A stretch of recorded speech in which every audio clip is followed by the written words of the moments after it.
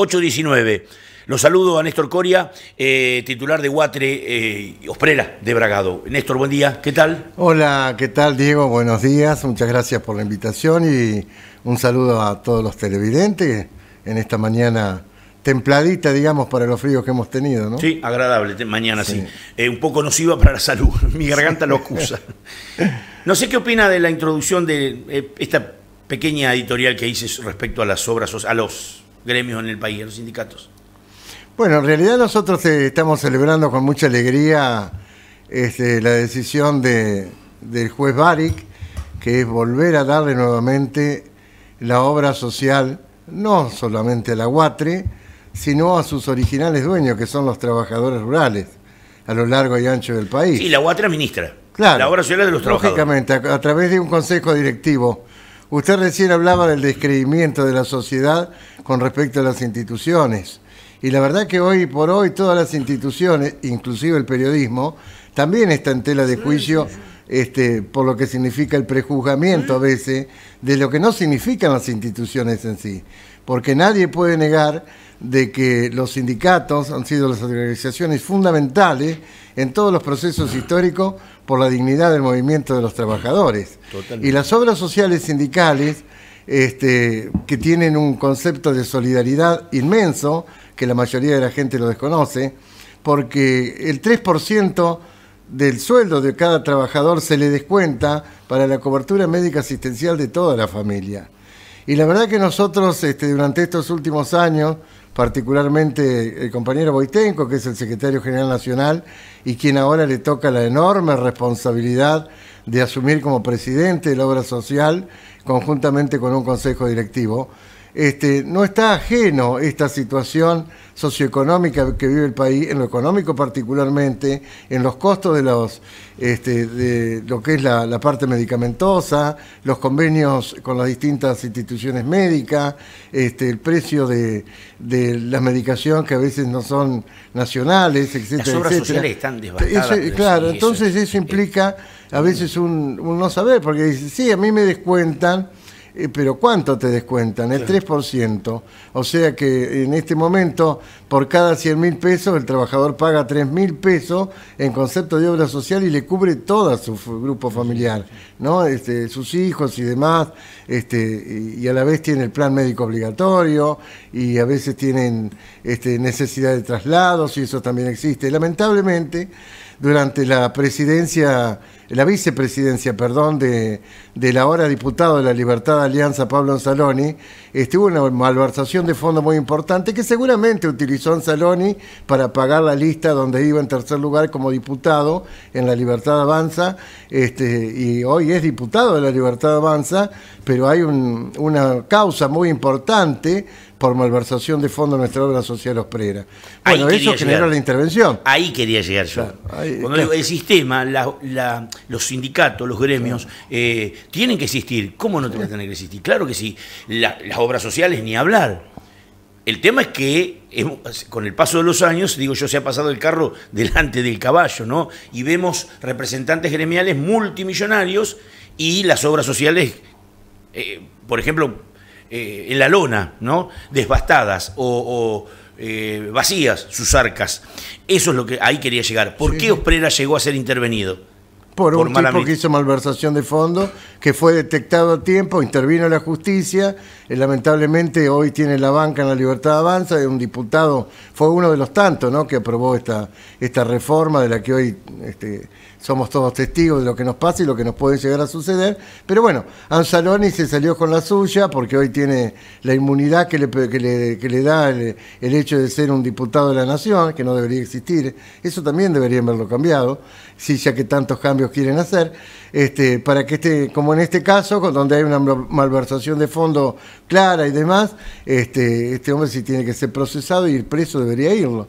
Entonces, este, hoy eh, lo que tenemos que hablar es celebrar con la alegría de que el interventor estuvo actuando eh, durante un año y ya a partir del primero de julio eh, nuestro secretario general y ahora futuro presidente de nuestra obra social Osprera, porque así lo dice el estatuto Claro. de la UATRE, va a asumir este, con su consejo directivo tomar cartas en el asunto, tomar las riendas de la obra social, comenzar a, poner este, todo en orden y ver cómo, cómo se pueden firmar nuevos convenios y todo aquello que apunte en beneficio del trabajador rural y su familia. Néstor, aprovecho a preguntarle, ¿cómo está la obra social hoy? Yo, sé cómo están en general, pero ¿cómo está Osprera? ¿Cómo, cómo funcionó este año intervenida? ¿no? Y, bueno, intervenida, eh, en general las obras sociales, sindicales y no sindicales, eh, sabemos que están en una situación muy difícil, justamente por lo que le comentaba hoy, el tema de los costos, la falta de convenios,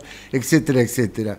Eh, por lo pronto, durante el transcurso de la intervención del juez Beri y el, y el interventor Acuña, este, bueno, ahora a partir del primero de julio será barajar y dar de nuevo, comenzar a hacer nuevos convenios, comenzar a mejorar la calidad de las prestaciones a lo largo y ancho del país, pedirle disculpas fundamentalmente a nuestros trabajadores, los afiliados, que de última son los que mantienen la obra social, los que mantienen a, nuestra organización.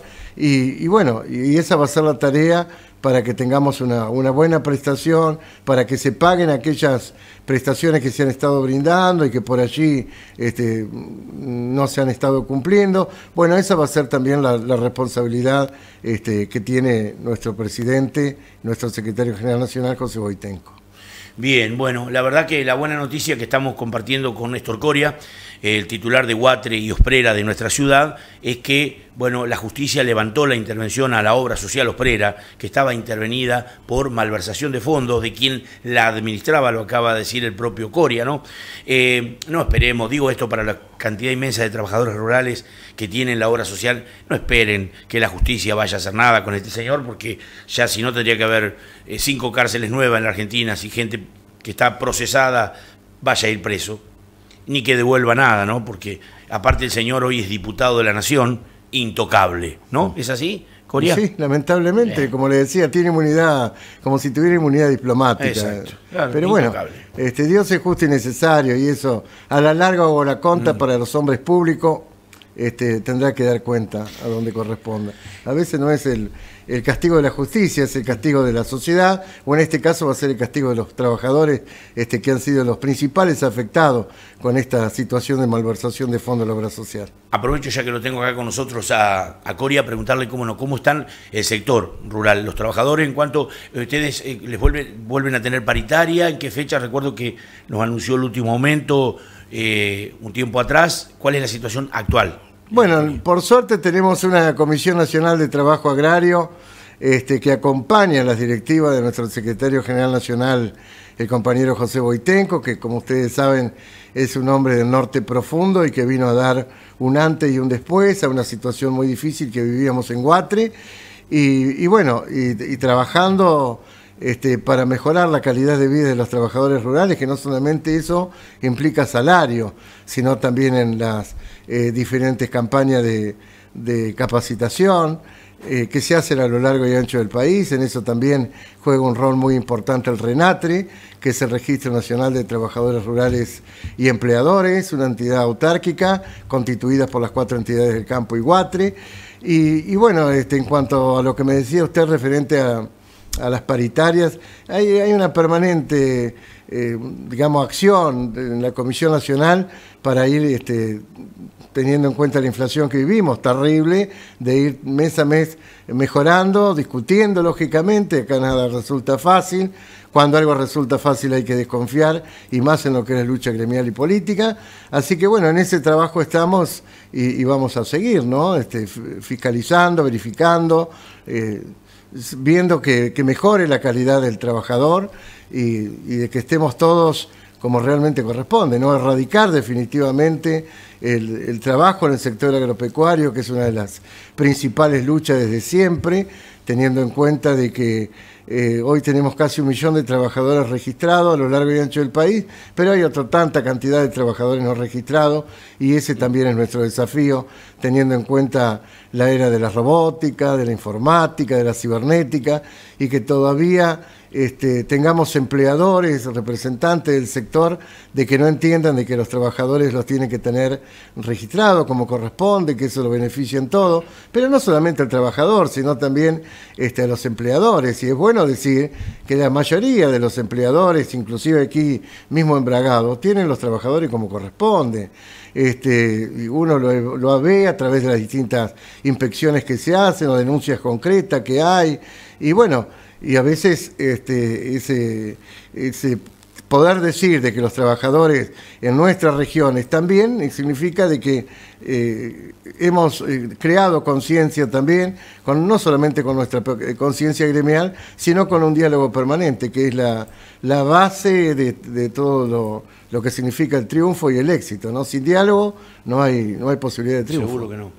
Pablo, podemos poner en portada, si podemos poner en pantalla la, portada de Infobae, en este momento que le voy a pedir un concepto a Coria eh, para cerrar esta entrevista, que ya son las ocho y media, pero eh, Infobae titula El oficialismo logró aprobar el paquete fiscal en el Senado, pero tuvo un traspié en ganancia y bienes personales. Bueno, finalmente pasó el día de ayer, digo, la Cámara de Senadores tuvo la atención de todo un país en la jornada donde lamentablemente hubo detenidos, hubo gente lastimada, un automóvil de, un medio periodístico incendiado, donde hubo intento de que, de que se derramara sangre, que a gracias a Dios no prosperó, pero bueno, la opinión de, su, punto de vista, Corea, de lo que ayer sucedió. Sí, en primer lugar este, está muy bueno saber y es bueno que la gente sepa que el movimiento obrero organizado, los sindicatos, no tuvieron absolutamente nada que ver con estos desmanes y estos hechos de violencia, que de última le terminaron haciendo el juego al gobierno, a la izquierda, este, con este tipo de, cosas que lamentables, repudiables, detestables por donde se la mire. Este, así que nosotros, los trabajadores, nunca vamos a tener que ver con, con estos hechos eh, de violencia. Este, que, que, no tienen nada que ver con la democracia, con la convivencia republicana y menos con un este, con una actitud de protesta. Sí lo hicieron ayer los sindicatos, pero sin participar en ninguna de estas acciones, donde está claramente demostrado que, los sindicatos no tienen nada que ver, ¿no? que las organizaciones sindicales no tienen nada que ver. Eso en primer lugar. Y ahora esperemos que el, señor presidente, el doctor Milei, comience a gobernar, termine de viajar por el mundo, empiece a, a poner las cosas este, realmente como él dice, que va a ser toda una, una transformación revolucionaria. Bueno, el, verso libertario con el que conquistó el mundo, conquistó la, la, gente, el voto cautivo que ahora ya no lo tiene más, este, cuando prometía la dolarización, este, el, cierre del Banco Central, este, la revolución de no sé cuántas cosas, que vemos que todos los días la gente la va pasando cada vez peor y peor, los salarios que van perdiendo su poder adquisitivo, eh, que es un verborrágico que permanentemente insulta, maltrata y despotrica contra todo el mundo, que ha dicho que viene a reducir el Estado a la nada, eso es lamentable porque eso es anarquía y el Estado es eh, la educación pública. Este, no dijo que no lo quiere el Estado. Claro, es lamentable, ¿no? Que, lamentable que este hombre venga a dar por tierra con un Estado este, que, se ha creado con, el fin del bien común. Bueno, parecería que no lo entiende así, es un errático en todo, este, vive permanentemente peleándose con todo el mundo, no solamente en la Argentina, sino en el mundo, pero a la vez le gusta viajar por el mundo, valga la redundancia, y disculpe la repetición de las palabras. Así que bueno, esperemos que empiece a gobernar, le quiero mandar nuestra solidaridad desde Guatre, desde nuestra este, fracción política también, a todos los compañeros trabajadores metalúrgicos. Ayer estuvo en representación de todos los de Guatre, nuestro secretario adjunto allí con el compañero Senga, nos pusimos a disposición, como hemos estado siempre a disposición y solidarizándonos con con cualquier gremio que ha estado en dificultades, ¿no? Y esperemos que, se solucione prontamente por, por, el bien de esos compañeros. Coria, gracias por haber venido. No, por favor, gracias a usted por su invitación. Ahí está, la palabra del titular de Guatre Bragado. Eh, la justicia liberó la obra social, le levantó la intervención a la obra social de los trabajadores rurales, que es Osprera. Eh, sí, doy fe que allí estuvo Sergio Páez, en representación de Guatre Bragado, y del partido FE estuvo Sergio Páez junto a los trabajadores de, la UON que están ahí en este compás de espera. Que ojalá, digo, y aprovecho si querés, te, te redondeo, estuvimos